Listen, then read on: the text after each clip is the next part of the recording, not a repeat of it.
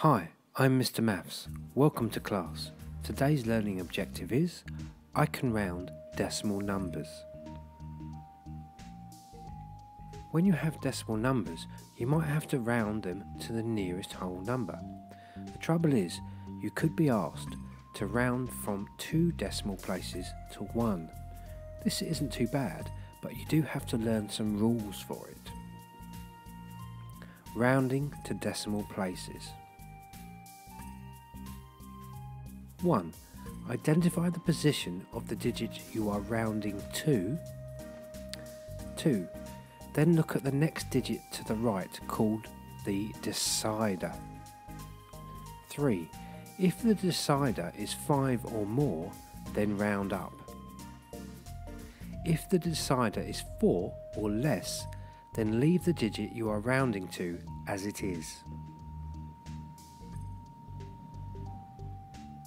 Example, what is 3.65 to 1 decimal place? Here's 3.65. Here's the digit you are rounding to. It is one decimal place. Here's the decider.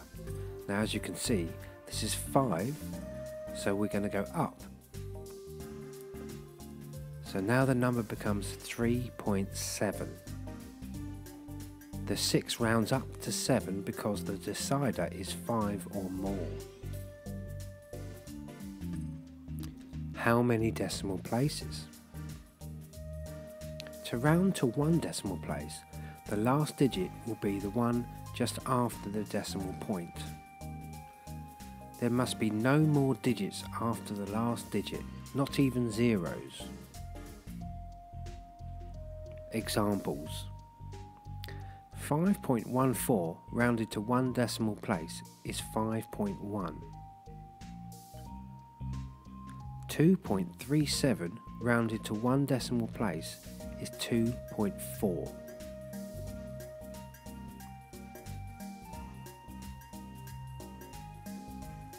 Now have a go yourself. Pause the video now.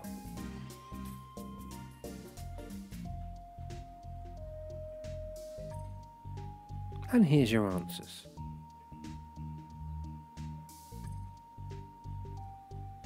Class finished, well done.